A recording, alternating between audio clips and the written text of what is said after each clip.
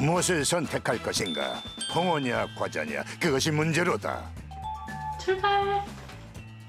마음을 정한 듯 속도를 내는데 어 역시 과자는 역시. 이길 수 없는 건가 싶던 그 순간 반대로 향하는 녀석 어머, 서준이에겐 과자보단 홍어였다 그 어떤 음식 앞에서도 절대 흔들리지 않는 일편단심 홍어가 그렇게 좋니? 밥하고도 안 먹어 그냥 예. 이 달달함을 포기할 정도로 좋은 거야?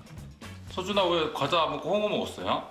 우와 먹고 먹을 거예요. 아, 먹고 먹을 거예요. 너는 계획이 다 있구나 아, 그렇네요. 똑똑해요. 가리는 거 없이 다 잘 먹지만 일순위는 단연코 홍어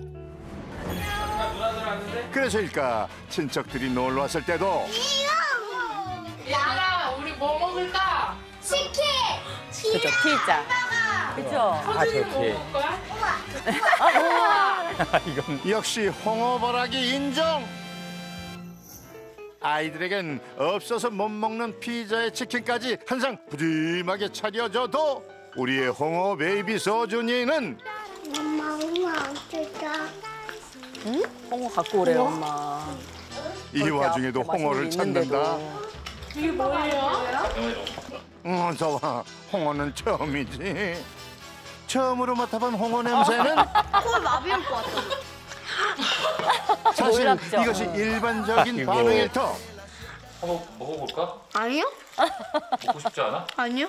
절대요. 안 먹고 싶어요. 하지만 손이가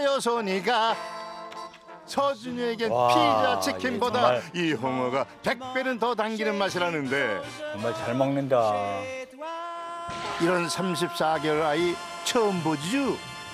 믿기지 않아요? 예. 너무 맛있게 먹던데. 수준아 맛있어? 응. 진짜? 결국 산까지 옮겨서 본격 먹방 아, 이 맛을 어떻게 알게 됐나요? 그런데? 아니 지금 뭘 또 먹는 거야? 그것도 맛있어요. 이건 뭐예요? 피클 국물이요. 이걸 왜 마신디야? 물 대신 먹는 거야 지금? 이렇게 약간 좀 시큼한 이런 걸 좋아하는 친구네요. 맛이에요. 어. 하나 먹고 홍어를 먹고 난 후 입가심하는 것도 아니고 잘도 들이키는데 홍어에는 피클 국물이야? 너 입맛 정말 별나다.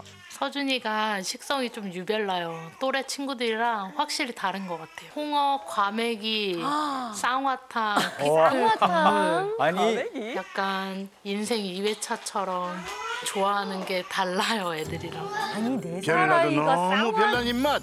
홍어는 어쩌다 먹게 된 거예요? 저희가 저녁에 가끔 고기 삶아서 같이 먹고 하다가 평소 홍어를 좋아해 집에서 자주 즐겼다는 부부. 음 맛있어 엄마 아빠가 그런데 좋아하는데요. 일년전 어느 날 먹는 걸 한참 지켜보더니 계속 달라고 조르더라고요. 처음에 뱉을 줄 알고 줬는데 먹더니 부부의 예상과 달리 어? 마치 운명의 단짝을 만난 듯. 홍어 맛에 완전히 빠졌다는데